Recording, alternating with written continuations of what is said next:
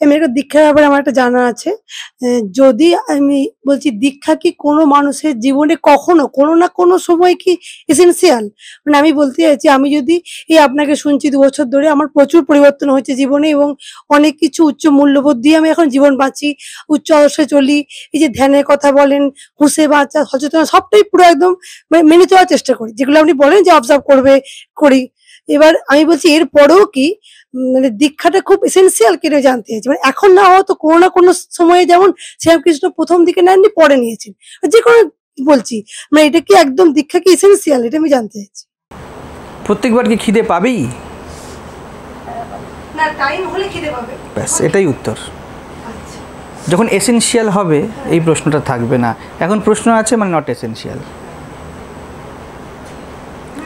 দীক্ষার যদি কাজ জীবনে হয়ে যায় আপনার মধ্যে দীক্ষার প্রশ্ন উঠবে না। হুম।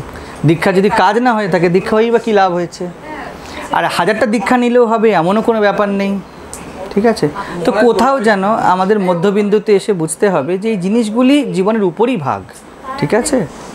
দীক্ষা একটা অ্যানাউন্সমেন্ট বলছি বলছি।